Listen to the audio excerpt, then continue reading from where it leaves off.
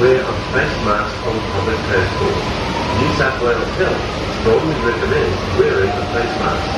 For more information, visit transportnsw.com.